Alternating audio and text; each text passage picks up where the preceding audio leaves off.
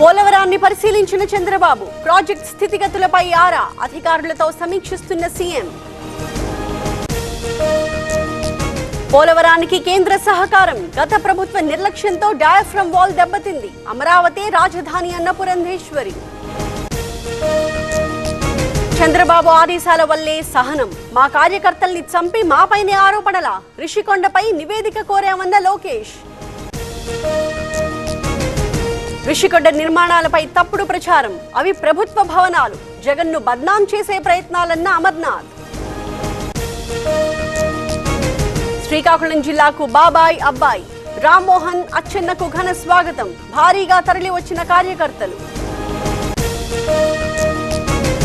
యువతను ప్రభుత్వం మోసం చేస్తోంది. కాంగ్రెస్ జాబ్ క్యాలెండర్ ఏమైంది? పెన్షన్ పెంపు ఇంకెప్పుడన్న హరీష్ రావు. ప్రజా సమస్యలపై పోరాడత. నిత్యం జనంలోనే ఉంటా. తాను చేతల మనిషినన్న ఈటల రాజేందర్. పవన్కు ప్రభుత్వ ప్రాధాన్యం. కార్యాలయాల్లో డిప్యూటీ సీఎం ఫోటో. సీఎం చిత్రంతో పాటే ఏర్పాటు. పబ్ కస్టమర్లపై సైబరాబాద్ ఎస్ఓటి నిఘా. నలభై మందికి డ్రగ్ డిటెక్టివ్ పరీక్షలు. ఇద్దరికి పాజిటివ్ అరెస్ట్. కోనసీమ జిల్లా ఈధరాడలో రగడ జనసేన టీడీపీ ఫ్లెక్సీల చించివేత గ్రామంలో ఉద్రిక్త పరిస్థితులు.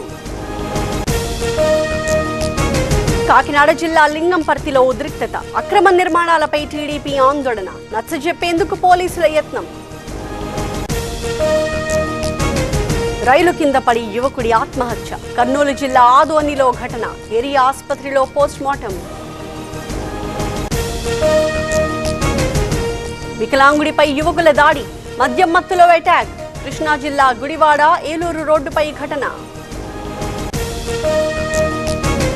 వేసవిని తలపిస్తున్న ఎండలు ట్యాంకర్లతో నారు తడుపుతున్న రైతులు వర్షాల కోసం ఎదురు చూపులు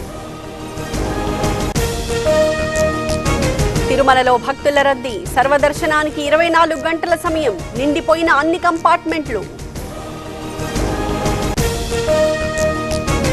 శ్రీశైలానికి భక్తుల తాకిడి మల్లన్న దర్శనానికి ఎనిమిది గంటల సమయం ఇబ్బందులు ఎదురవ్వకుండా ఏర్పాట్లు. తెలుగు రాష్ట్రాల్లో బక్రీద్ వేడుకలు ఘనంగా జరుపుకుంటున్న ముస్లింలు మసీదుల్లో ప్రత్యేక ప్రార్థనలు. భారత్లో ఘనంగా బక్రీద్ ముస్లింల ప్రత్యేక ప్రార్థనలు కిటకిటలాడుతున్న మసీదులు.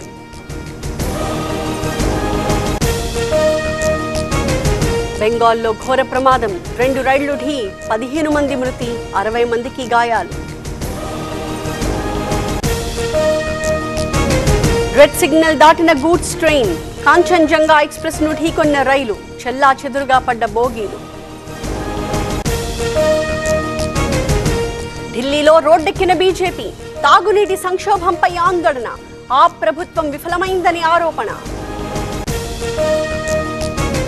ఢిల్లీలో పైప్ లైన్లకు భద్రత పహారా కాస్తున్న బలగాలు ధ్వంసం చేయకుండా చర్యలు.